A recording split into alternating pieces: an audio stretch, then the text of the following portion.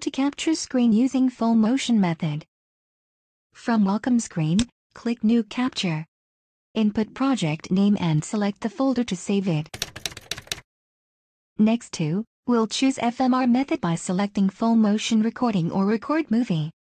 Double-click the selected profile to set options for your movie. Make sure that FMR method is selected. Check here to capture window follow mouse cursor.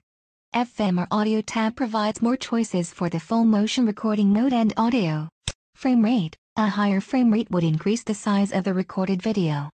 Keyframe every. This is the number of continuous non-keyframes between keyframes. When recording video, Active Presenter will automatically place a keyframe every X frames. Active Presenter offers a choice of three codecs. The better the video is, the larger the file size is. Check record audio if you want to record at all. Click Save button to save the changes. Press OK button to launch a new window. As you can see, all the remaining controls for the recording are shown in Capture Profile area. Select Capture Size. Check Floating Toolbar to show all controls necessary as start and stop the recording, and adjust the sound level. Finally, click OK button.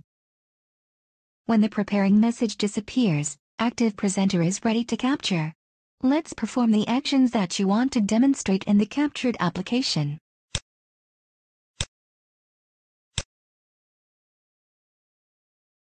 When you are done, let's click the icon, then click Stop to end the capture process.